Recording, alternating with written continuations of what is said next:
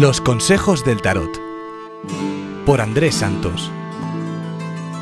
Hola a todos, soy Andrés Santos, colaborador de la Orden de Ayala y de Ases, y vamos a ver qué recomienda el 10 de oros. El 10 de oros nos recomienda y nos dice que hemos llegado por fin a buen puerto, que todo va a ser seguro. Seguro vamos a tener un trabajo estable, seguro vamos a tener un amor con confianza y lealtad en el cual podemos depositar nuestro futuro y seguro vamos a poder comprar una casa.